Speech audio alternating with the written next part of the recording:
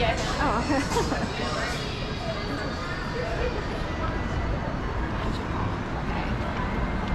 It's a place I don't recognize. I don't know if they just opened, so I'll have to check it out. I um, don't come out that often and walk all around unless I absolutely have to for work or what have you. Um, uh, so we are on a mission to avoid all kinds of activity out here. Some of it's regular street riffraff. Other activity involves overly timed, overly coincidental, orchestrated activity. It is done. Um, no one knows what to do about it, so it's kind of ignored by, by authorities for now and law firms and stuff like that. Although people have uh, worked, particularly in Michigan, to figure out how to create laws around gang stalking. Um, it is an actual phenomenon. Um, either it's happening to you and you're not awakened enough to know it, but you're kind of miserable because things don't work out for you, or you're annoyed a lot by people, or you're fully awakened and you got slammed. you would know. For the most part, you would know if you were a target of a major gang stalking effort. Why it occurs, I don't know what to say. so that's still the, the jury, the verdict is still out. Um, but some people see the world as, and this is basically true on some level. I don't know how someone gets selected for gang stalking, but um, basically the world is comprised of families who've been running the universe for a long time. And those families have people all up and down the socioeconomic level. So even someone sort of lower who doesn't make a lot of money, they know they're pretty secure. They can get like a job still because their family still runs the universe. Then there's the rest of us, rest of us for the rest of us. And we're like, I don't really know anyone. I have like three followers on YouTube. so therein lies the difference. It's still a fact today. Am I going this way? Um, so those families will always reign supreme. It's just we live in a modern world and people don't want to believe that. You know, we think that there's job opportunities, things are created for all kinds of people. Um, but those entities will do whatever possible to make sure their families stay in the moneyed positions. So, and there are families from all countries, all walks of life, and they want to make sure their people stay at the top. So that's how some people perceive it. I think there's some truth to that because if you're a regular person from an average, you know, family or whatever, and you know, if you try to find certain types of jobs or try to make it in certain worlds, particularly say the movie industry, um, we'll just go with that. Um, you know, it's incredibly difficult unless you have ties and connections to people who've been running that show for eons. You know, there are families and people have learned, say, like, you know, if you can tame a bear or a lion, you are valuable in certain worlds and you're probably part of a very specific type of family. Most of us wouldn't, you know, press our you know, we wouldn't go near a lion, tiger, or bear. We have no idea how to control those things. But some people actually do. It's like the dog whisperer.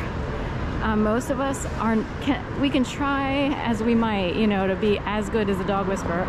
We just won't be. He is actually someone who knows how to tame wild animals. I'm so not kidding. Which way am I going?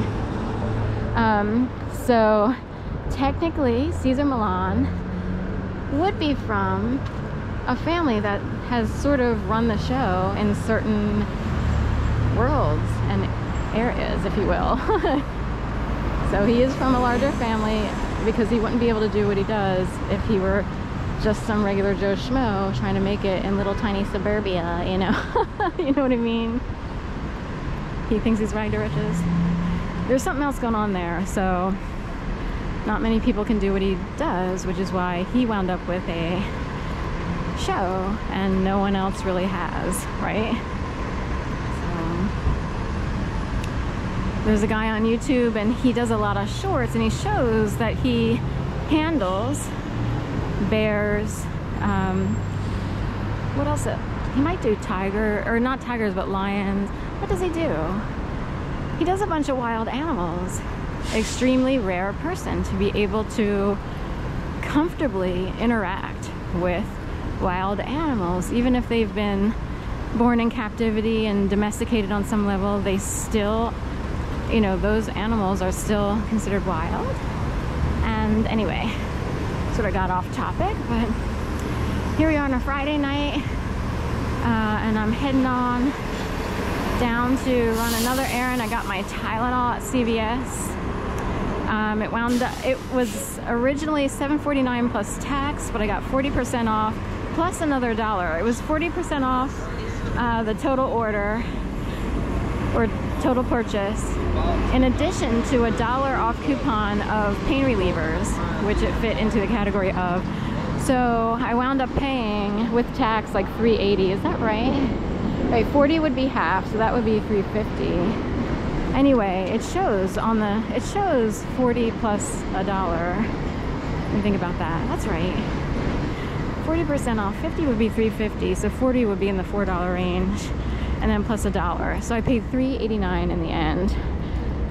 So I'm thankful for that because sadly, you know, I do get headaches often enough and um, it's better to just sort of take those and be able to go to sleep.